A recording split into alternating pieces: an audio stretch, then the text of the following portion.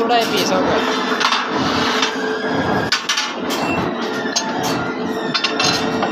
ਗਿਆ ਵੀ ਮੈਂ ਜਾਣਾ ਜੀ ਹੁਣ ਖੜਿਆ ਪਹਿਲਾਂ ਮਸ਼ੀਨ ਤੇ ਸਾਡੀ ਬਣਾਉਣਾ। ਮਸ਼ੀਨ ਦੀ ਬਣਾ-